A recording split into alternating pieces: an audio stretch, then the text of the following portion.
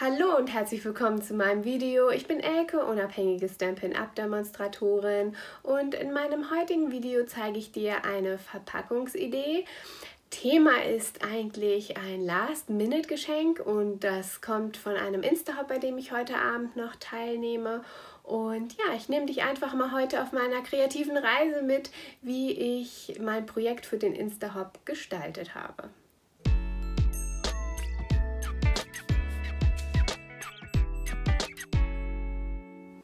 Mein heutiges Video ist inspiriert von einem Videohop, an dem ich heute auch teilnehme. Und das Thema von diesem Videohop ist Last-Minute-Geschenke. Und äh, ja, für Kreative natürlich auch immer eine schöne Sache. Da kann man ja schnell mal eine Schachtel zusammen äh, basteln und irgendwas Süßes mit reintun. Keine Ahnung. Meine erste Inspiration war mein Last-Minute-Geschenk, was ich heute zeigen möchte. Es ist eine ähm, Kartenzusammenstellung, nett verpacken. Denn das ist für mich absolut nicht unbedingt ein Last-Minute-Geschenk, aber doch tatsächlich auch ein Geschenk, was ich gerne mache. Und das ist die Kartenzusammenstellung, die ich meiner Schwiegermutter noch so als kleines Geschenk zu Weihnachten hinzufügen werde.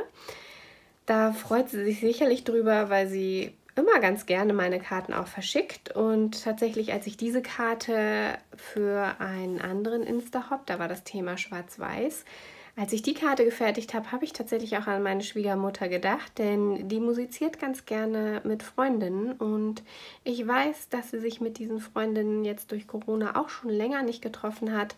Von daher ähm, werde ich dazu noch eine zweite gestalten, in einer ähnlichen Art und Weise, aber auch mit den Noten, dass sie die Grüße an ihre Freundinnen schenken kann und schicken kann. Dann, ähm, ich zeige dir einfach mal die Auswahl, die ich jetzt getroffen habe. Dann war das eine Karte, da habe ich eine Inspiration aus dem Jahreskatalog. Ich bin mir nicht sicher, ob es sogar dieser oder der letzte Jahreskatalog war, nachempfunden. Ach, ich glaube, das war mein Video oder ja doch, ich glaube, ich habe ein Video gemacht zu was bleibt und habe quasi dieses Stempelset, was ja zu den Painted Poppies auch gehört, das Grußstempel und die Stanzform.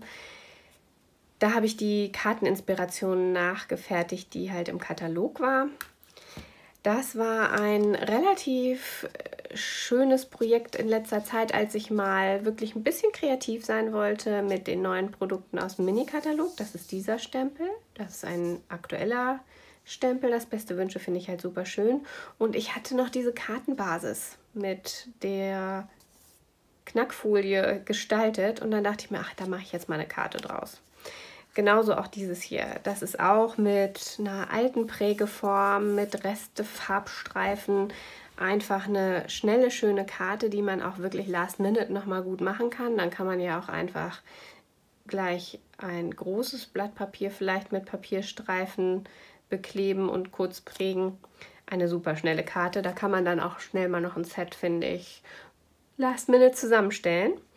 Dann hatte ich ja so eine Reihe mit den Schmetterlingen. Also es ist wirklich gesammelte Werke aus dem letzten Jahr, die ich jetzt einfach verschicke. Hier habe ich mal diese Technik ausprobiert mit schrägen Streifen, einfach aufkleben und eine schöne Grußkarte. Die ist schon sehr massiv, weil ich habe das erstmal auf schwarz drauf, dann nochmal mit schwarz gelayert und oh, die ist schwer. Dann noch eine Einleger, schwere Karte, aber trotzdem ganz schön und ich glaube mal von der Farbgebung her ganz anders als das, was ich sonst gestalte und ja, ich hoffe, es gefällt dir. Ja, das war die Serie, die ich mal gemacht habe mit den Schmetterlingen, als ich die neu hatte. Das finde ich ist mal eine ganz witzige andere Kartenart, einfach so einen Aufleger draufzulegen, den man hochklappt. Das war eine Video-Challenge äh, mit äh, Nicole und Katharina und Sandra. Und da haben wir uns gegenseitig Materialien geschickt. Die Karte finde ich immer noch ganz schön, deswegen die kann sie auch mal haben, mal ganz schlicht. Heute ist dein Tag. Dann, auch dazu gibt es ein Video. Meine Güte. Es ist so ein bisschen Resümee des letzten Jahres, muss ich sagen, oder des vergangenen Jahres, was jetzt ja schon fast zu Ende ist. Hier habe ich ja die Hintergründe mal gestaltet mit Prägen und Knicken. Auch eine super schöne, dezente Karte mit zum Geburtstag. Ich hoffe, dass sie das auch gut gebrauchen kann. Hier habe ich gar keinen Gruß drauf. Ich weiß, dass meine Schwiegermutter sowas gerne mag. Und das war mal eine Kartensketchkarte, die ich mit meinem Team mal bei einem kleinen Teamtreffen gemacht habe. Und ähm, ja, das sind immer so kleine kreative Momente, die wir da haben. Wir haben uns dieses Jahr auch komplett digital getroffen, also virtuell äh, mit Videokonferenz. Und dann ist es immer ganz schön, wenn man so ein paar Ideen hat, die jeder halt zu Hause mit dem, was er hat, auch gestalten kann. Von daher ist das jetzt meine Kartenauswahl, die ich verschenken möchte. Und jetzt habe ich zwei Möglichkeiten für mich zumindest, die schön zu verpacken. Das eine wäre, wenn ich jetzt zum Beispiel eine Karte, die jetzt nicht so erhaben ist, vielleicht diese wäre dafür sehr praktisch nach oben lege, dann könnte ich hier einfach eine schöne Banderole drum machen, die man gut runterziehen kann so. Oder vielleicht sogar die Karte umdrehen, dass man gar nicht sieht, was es ist. Und dann einfach eine Banderole drum machen, farblich passend. Oder wenn man weiß nach außen nimmt. Und die Karten dann so als Kleinigkeit dazu zu schenken, das finde ich ganz schön.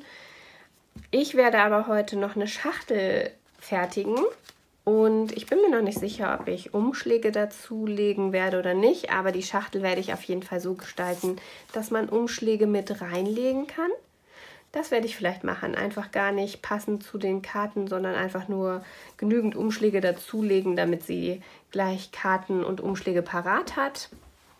Und dann nehme ich mir jetzt einfach mal hier ein Stück Papier und zeichne mal kurz auf, wie ich mir das vorstelle. Ich möchte einen Pizzakarton machen und der soll in der Fläche von unten, dass die Karten halt entspannt reinpassen und man sie gut rausnehmen kann. Das heißt, ich brauche rechts und links, oben und unten ein bisschen Platz. Das heißt, ich nehme 17 mal 12 cm als Bodengrund quasi. Wenn ich mir das jetzt mal aufzeichne, wäre das jetzt quasi der Boden, wo die dann reinkommen. Und dann möchte ich hier außen, brauche ich dann Seitenwände. Also ich klappe es quasi schon auf. Hier wird dann nur gefalzt. Und ich messe mal kurz. Ja, das sind so ja, wenn ich da noch Umschläge dazu tue, brauche ich schon 4 cm, damit das noch entspannt geht. Und dann kann sie die Schachtel ja auch langfristig benutzen oder vielleicht auch noch mal was anderes reintun, um sie weiter zu verschenken. Das heißt, ich werde hier noch mal 4 cm dran setzen. In der Ausrichtung sind es jetzt 17 und nach in der Ausrichtung ist es dann 4, 12 und 4. Und tatsächlich möchte ich einen Deckel dran machen. Und wenn ich jetzt hier einfach noch einen Deckel dran setzen würde, der hier, hier nochmal so kleine Laschen hat, um es reinzustecken. Ich weiß gar nicht, ob du so ein Vermögen, also ein Vorstellungsvermögen hast. Also ich klappe quasi jetzt, ach guck mal, ich habe hier ein Paper Pumpkin liegen. Ich klappe quasi gerade so eine Schachtel, die habe ich im Kopf und übrigens gibt es die auch in klein, diese Schachteln. Da könnte man dann sogar die Karten direkt reintun und bräuchte gar nichts selber basteln. Aber ich bin ja ein Selbermacher. Also ich habe jetzt mir das hier so vorgestellt. Ne? Das klappe ich nach da, das sind, ist diese Lasche, die zwei nach außen geklappt sind diese, dann ist diese Hochkantlasche ist das und hier der Deckel ist dieses hier und da sind dann halt diese Laschen, die ich da noch dran setzen möchte. Das heißt, bräuchte hier nochmal 12, 12 cm und hier so eine Reinstecklasche von 2 cm, sage ich. Das heißt, ich bräuchte in der Höhe 4, 16, 20, 32, 34 cm. Wäre das komplett in der Höhe. 34 cm habe ich so jetzt nicht. Wenn du Farbkarton hast, der 34 cm hat, kannst du den benutzen und bräuchtest dann hier nur zu falzen und könntest das dann halt zuschneiden. Da ich das nicht habe, werde ich jetzt einmal diesen unteren Part, ich hole mir mal kurz Farbstifte. Das heißt, ich werde einmal hier diesen unteren Part zuschneiden. Hier brauche ich übrigens auch noch so Klebelaschen dran natürlich. Damit ich das zusammenkleben kann nach oben. Könnte ich auch an die Seite machen. Ich glaube, ich mache es sogar lieber an die Seite als an die Seite. Hinten ist es, glaube ich, relativ egal. Nee. Nein, so wie ich es hatte, war es gut. Dann sieht es am besten aus. So. Und ähm, das ist das eine. Das heißt, dafür bräuchte ich hier in der Breite 4, 21, 25 ja, 25 mal 4, 16, 20. Mal nachrechnen. 4 und 4 sind 8, plus 12 sind 20 cm. Das brauche ich für das blaue Stück, um das zu gestalten. Und dann setze ich mir hier nochmal an. Und zwar schneide ich mir dann hier dieses hier nochmal zu.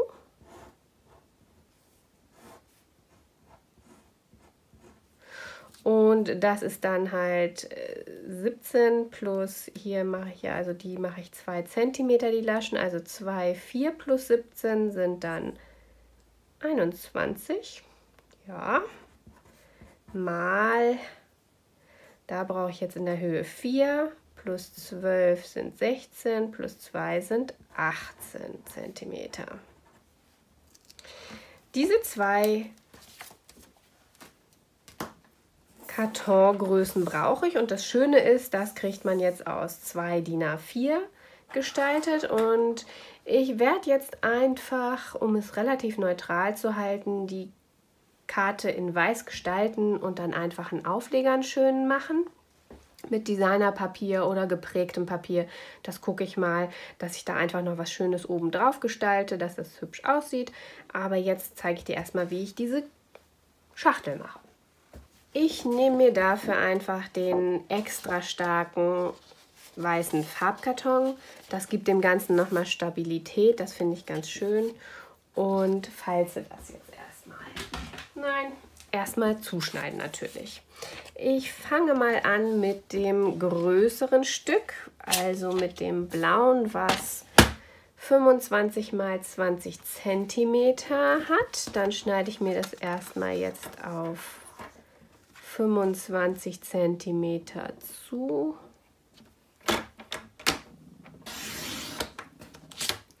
Und 20 cm heißt, ich muss hier einen Zentimeter abschneiden. Das kann ich mir auf dieser Seite angucken. Zur Kontrolle kann ich natürlich hier auch noch mal gucken, dass ich da die 20 cm habe. Es kommt nicht auf einen Millimeter, denke ich, an, denn ähm, ich habe ja sowieso ein bisschen Luft gelassen, um da die Karten und die Umschläge gut reinzukriegen. Und das falze ich jetzt ringsum bei 4, Cent, 4, Cent, bei 4 Zentimetern, weil ich ja eine Höhe von 4 Zentimetern haben möchte.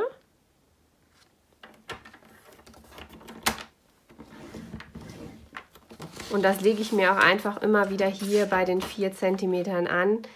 Natürlich kannst du dir auch ausrechnen, ähm, was die Maße wären, wenn du es rüberschieben würdest. Aber ich bin tatsächlich da... Ich bin faul zu rechnen. Tendenziell beim Rechnen verrechnet man sich ja auch gerne mal. Und so kann ich halt hier auch immer gucken, dass ich wirklich genau an der Linie möglichst gleichartig anlege und das passt dann, finde ich, immer ein bisschen besser. Das ist also die eine. Und bei der zweiten, wo habe ich denn den Farbkarton hingelegt? Da. Bei der zweiten, da brauche ich jetzt ja 18 mal 21. Das heißt, ich schneide mir hier einfach die 18 cm ab. 21 ist es ja schon. Und hier muss ich jetzt ein bisschen aufpassen, denn hier möchte ich jetzt einmal, dass ich ja das hier dran, zum dran schließen quasi, das will ich außen drauf kleben, damit die Rundung oben schön ist. Das heißt, hier falte ich jetzt bei 4 cm. Und auf der anderen Seite, da will ich ja nur die Lasche haben zum Reinkleben. Klippen, da brauche ich nur 2 cm. Und da kann ich es jetzt wunderbar rüberschieben, weil 2 cm kann ich ja auch hier außen anlegen. So. Das heißt, ich habe jetzt hier einmal die 4 cm und hier einmal die 2 cm und rechts und links falze ich auch 2 cm ab. Und das lege ich mir tatsächlich am liebsten hier an dieser Kante an, dass ich hier viel Fläche dran liegen habe. Dann wird das immer gerader, sage ich jetzt mal, und ist am idealsten. So. Im nächsten Schritt brauche ich jetzt hier Klebelaschen. Und ich finde es immer ganz schön, ja, wie kann man es machen? Also wenn man drauf guckt, wo hier brauche ich es ja gar nicht. Nein, hier brauche ich keine Klebelaschen und hier auch nicht. An diesem Stück brauche ich gar keine Klebelaschen, weil das ist ja quasi komplett meine Klebelasche die 4 cm Breite. Und dieses hier schneide ich raus, weil das soll ja quasi, ich hole mal dieses Paper Pumpkin, das soll ja dieser Deckel sein. Das heißt, ich werde hier wirklich auch alle Ecken eher runden und das schön alles abschneiden. Ja, ist immer ganz gut, sich so ein Muster auch zur Hand zu nehmen, wenn man das parat hat. Und äh, ja, dann schneide ich jetzt hier die an den Falzlinien und quasi die Falzlinie noch mit weg. Hier kannst du auch so einen Hauch schräg gehen. Eigentlich an allen Seiten könntest du so einen Hauch schräg gehen, dann lässt es sich am Ende einfacher reinschieben in die Verpackung. Es muss nicht viel sein, nur ein Hauch halt. Und Genau, und hier unten, das schneide ich auch einen Hauch schräg nach innen. Die bleiben ja stehen. Und hier schneide ich die Falz mit weg, aber gerade, weil das klebe ich ja hinten an meine Schachtel ran. Im Notfall kann ich da noch mal ein bisschen nachschneiden, wenn ich nachher denke, dass es sein muss. So.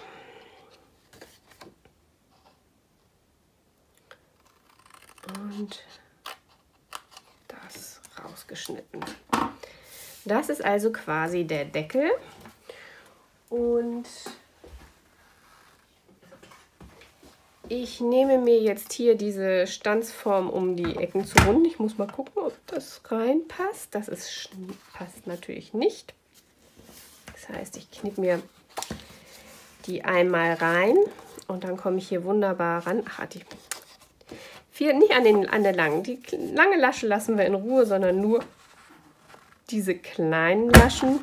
Die möchte ich jetzt nochmal abrunden. Und um da gut ranzukommen, klappe ich mir das ein. Und hier klappe ich es auch ein. Und dann komme ich hier nämlich wunderbar dran, dass ich das anlegen kann bei der Stanze. Und auch hier knicke ich es einmal rein. Und dann kann ich das hier wunderbar anlegen.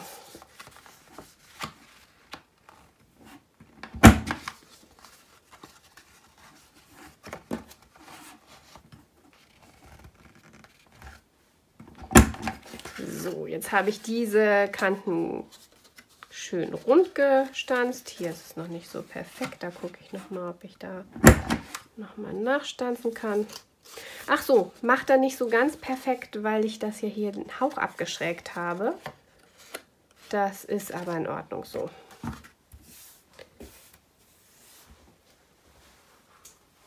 Und somit habe ich schon mal meinen Deckel. Und dann geht es jetzt weiter mit der Basis der Schachtel. Da wollte ich ja die Klebelaschen hier dran haben. Das heißt, ich schneide jetzt hier schräg so das ab. Und um das hinzukriegen, ich mache das ganz gerne vorm Falzen. Wenn du jemand bist, der lieber erst falzt, um die Falzlinien besser zu sehen, kannst du das natürlich auch machen. Das heißt, wenn ich hier und hier an diese Teile die Klebelaschen dran haben will, heißt das, ich schneide hier immer gerade an diesen Seiten ein. Einmal hier und einmal hier. Und auch auf der anderen Seite, ich mache es jetzt einfach mal so. Normalerweise kannst du natürlich auch erstmal alle Klebelaschen richtig schön zurechtschneiden. Hier und hier. Und weil das jetzt Klebelaschen sind, schräge ich die mir an und dann kannst du selber entscheiden, ob du sie so lang lässt oder ob du sie kürzt. Ich lasse sie jetzt einfach so lang. Und dann schneide ich die schräg zur Mitte hin. Die können jetzt auch so lang bleiben, weil wir ja hier eine recht breite Kante haben und die nicht über, überlappen oder so. Je kleiner eine Schachtel wird, umso mehr überlappt das und dann macht es auch manchmal Sinn, die einfach einzukürzen. Wie du möchtest. Kannst du machen, musst du aber nicht. Dann nochmal hier. Und dann geht es auch schon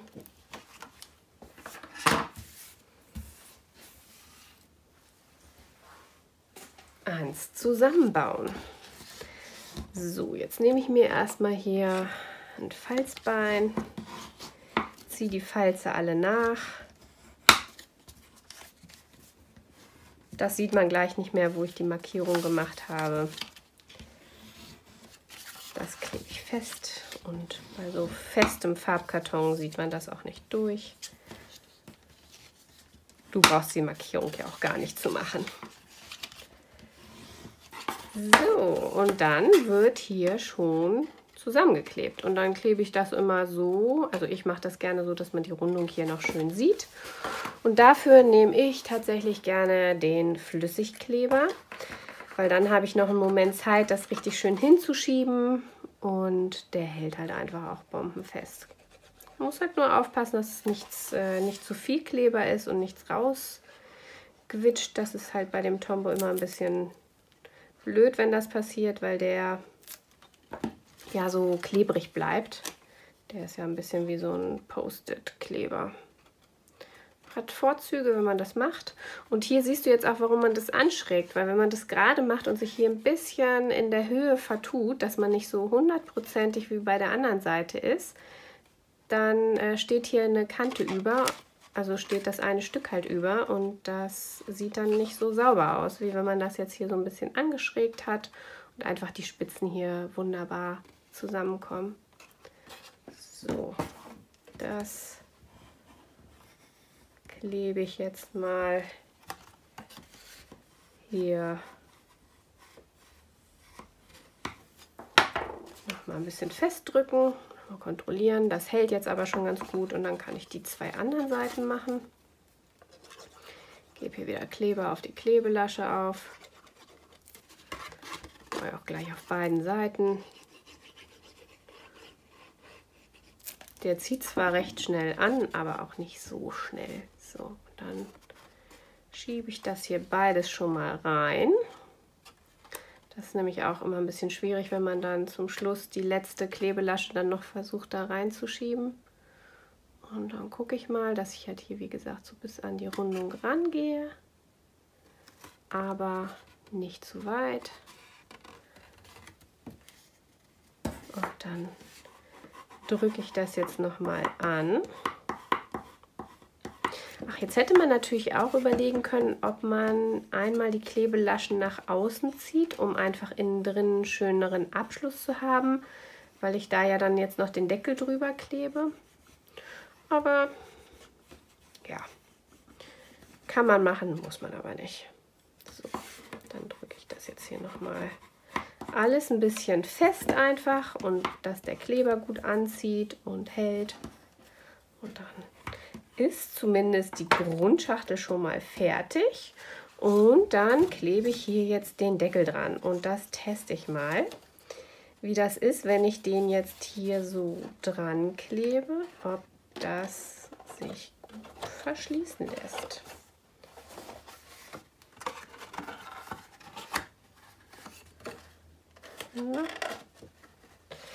Oh, der ist ein bisschen zu breit.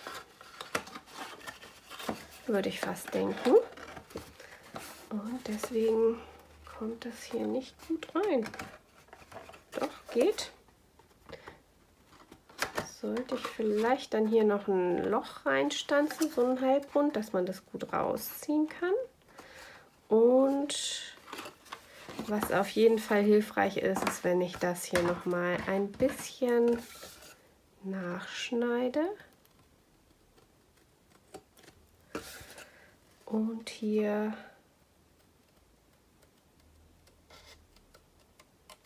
einfach noch mehr wegnehme, damit das noch leichter da reinrutscht. So. Das müsste dann auf jeden Fall auch schon mal besser funktionieren. Also so kannst du das dann noch mal ein bisschen anpassen. Gucken wir noch mal. Ich stecke das noch mal hier rein. Ja, das ist schon...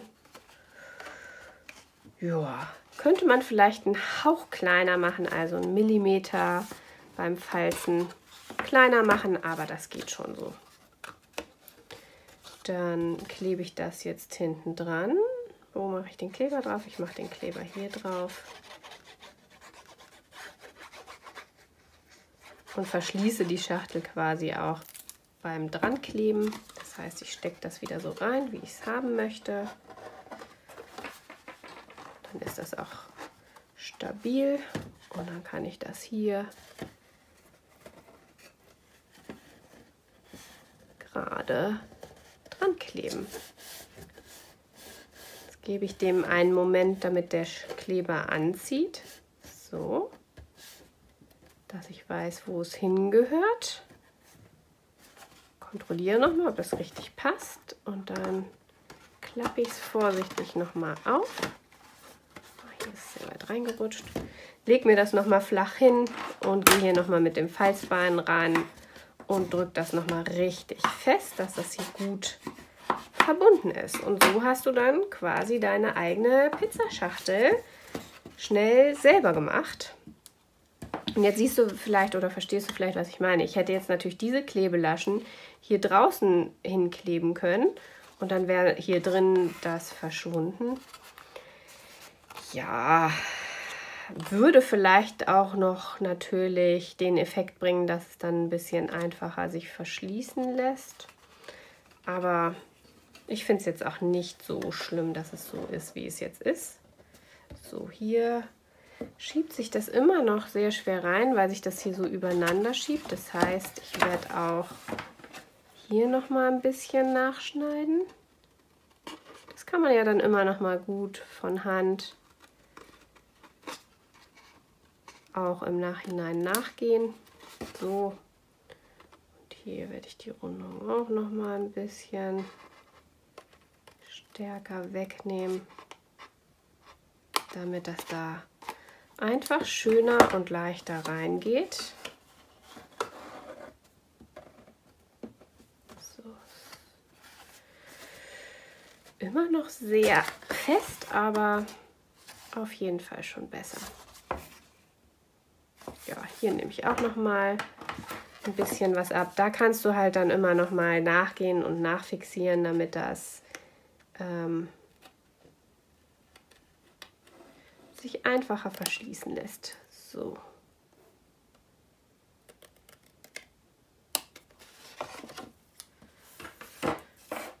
Das ist so das Feintuning. Genau, und dann habe ich schon mal die Schachtel. Und jetzt geht es an Deko ans Dekorieren. Ich hoffe, du hast da noch ein bisschen Zeit und Lust, mir dabei zuzugucken. Ich habe überlegt, dass ich zum Dekorieren auf jeden Fall dieses blau-weiße äh, Designerpapier nutze. Das habe ich in meinem Video vor zwei Wochen schon mal vorgestellt. Das ist das Designerpapier Land und Liebe, was dann im Januar im neuen Katalog sein wird. Und das hat halt auf der einen Seite Holzmaserung, auf der anderen Seite verschiedene Muster. Und dieses hier finde ich wirklich sehr schön. Die Schachtel hier oben hat ja 12 mal 17. Ich messe lieber nochmal nach, aber das hatten wir ja. 12, genau, 17 in der Ausrichtung und 12 in der Ausrichtung. Das heißt, ich möchte hier einen schönen großen Rahmen drumherum haben, dass man, wenn man das hier jetzt aufmacht, ach, dabei fällt mir ein, beim Aufmachen, hier wollte ich ja noch eine kleine Lasche reinmachen. Das heißt, hier muss ich jetzt mir erst nochmal die Mitte anzeichnen.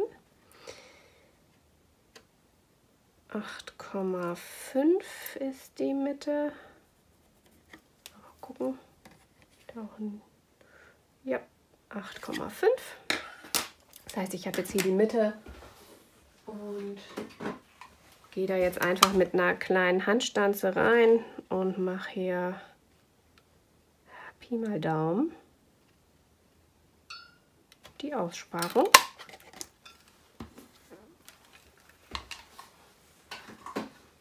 Dann habe ich das auch schon mal wieder. Dann geht das auch schon wieder ein bisschen einfacher zu öffnen und zu schließen. Und sieht auch ganz gut aus. Also das ist wirklich eine wirklich schöne Schachtel. So, und was hatte ich gesagt? 17 mal 12 ist die Schachtel. Gucke ich mal, was ich hier noch habe. Oh, das ist noch 16, ist das auf jeden Fall noch. Dann mache ich doch 16 mal 11. Dann habe ich einen Zentimeter rings um Luft. Habe das Designerpapier gut genutzt, keine kleinen Schnübbel. Ja. Wobei, ich glaube, ich mache 15,5. Das ist jetzt ein bisschen blöd, das hätte ich mir vorher überlegen sollen. Ich mache 15,5 mal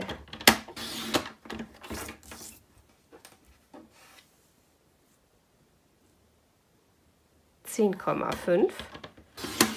Was ist das jetzt? Das notiere ich mal kurz.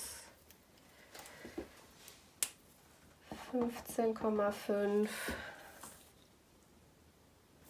mal 10,5 Da habe ich mir jetzt nur den Marker gemacht. Das ist vom Farbton her Abendblau. Und dann werde ich auch in der Farbe bleiben. Und mir in dem Abendblau noch einen Aufleger darunter setzen. Gibt natürlich der Schachtel erstens Stabilität und zweitens sieht das dann nochmal ganz schön aus. Und das werde ich zuschneiden auf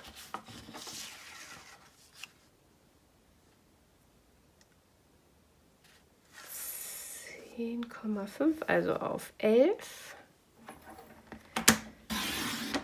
mal 16 und weil ich jetzt keine Lust habe nochmal auszuklappen, rechne ich jetzt nochmal, denn 21 minus 16 ist 5 und dann kann ich hier einfach 5 cm abschneiden. Also ich kann schon rechnen, das ist nicht das Thema. Nur die Gefahr, dass man sich verrechnet, ist halt einfach sehr groß. Und so habe ich hier nochmal einen schönen Rahmen drumherum.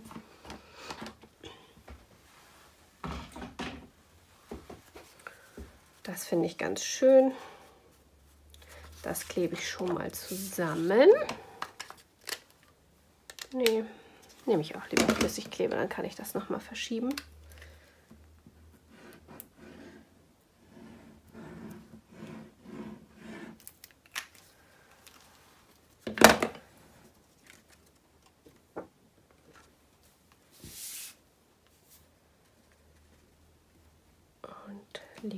drauf und dann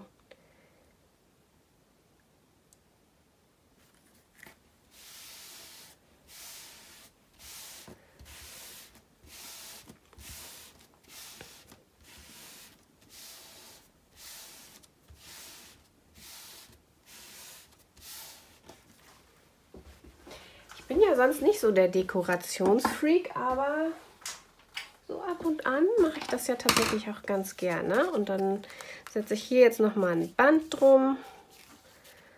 Das sieht dann ja auch ganz schön aus. Und ich bin am überlegen, ob ich da noch irgendwas... Also ein Grußpasta finde ich nicht so gut drauf, weil es ja einfach eine schöne Schachtel ist.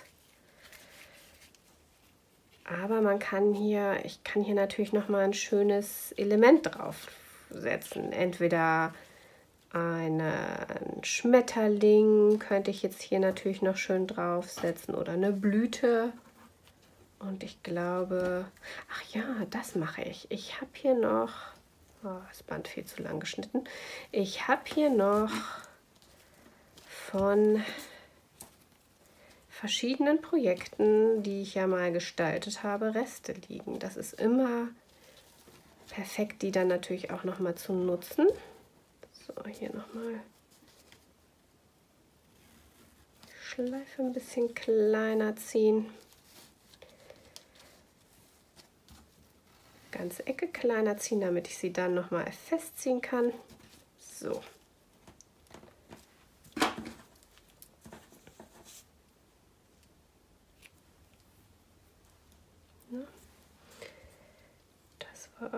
nicht so schön. Das schneide ich noch mal in die andere Richtung.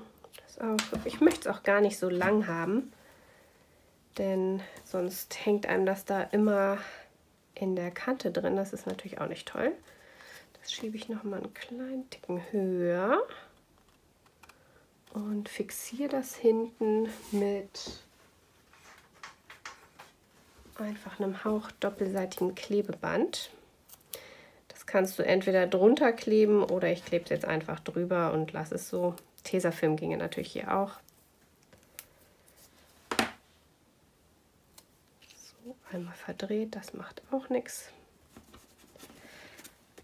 So, das ist schon mal ganz schön. Und dann habe ich mir jetzt hier alle möglichen Ausstanzungen, was ich noch so übrig habe, hingelegt und habe hier noch diese schöne weiße Blüte. Und da mache ich das jetzt einfach so, dass ich ich könnte die natürlich mit dem Blau noch mal komplett hinterlegen. Das wäre, glaube ich, ganz schön. Oh ja, dann kommt die auch gut zur Geltung. Das mache ich. Ich hatte erst überlegt, ob ich Transparentpapier dahinter lege, aber ich glaube, das finde ich schöner. Das heißt, ich stanz, also das Blau finde ich schöner, dann kommt die Blüte noch mal besser zur Geltung. Das heißt, ich stanze mir jetzt aus dem blauen Farbkarton noch mal die Blüte kurz aus.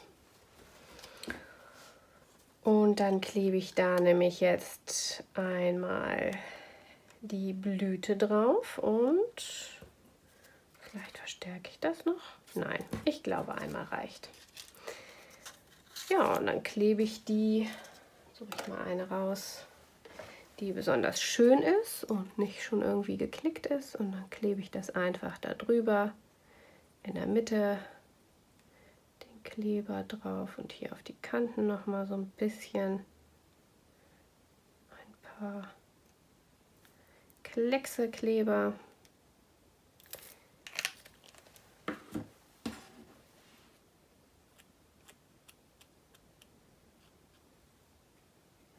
Gott, das war auch so, als ich in der Schulzeit, da habe ich ja auch hatte ich ja jahrelang immer, dass der Kleber vorgequitscht hat, bis mir dann, dann irgendwer mal diesen Trick gezeigt hat. Einfach Kleber, äh, einfach den Kleber mit einem Papier nochmal zu verschmieren. Meine Güte, ja. Was man so für Probleme hat in der Schule, ne? so. Trotzdem ein bisschen Kleber verschmiert außen. Macht aber nichts.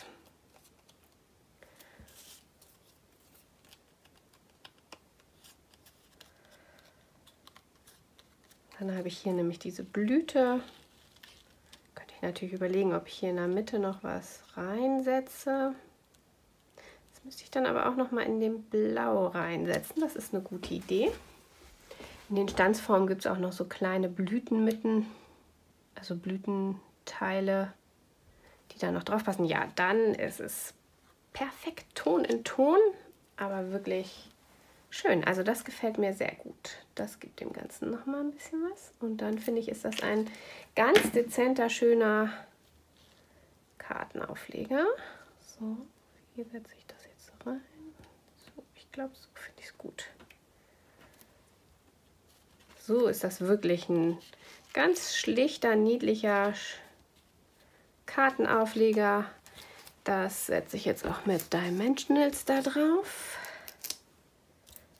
Und den Aufleger bin ich gerade noch am überlegen.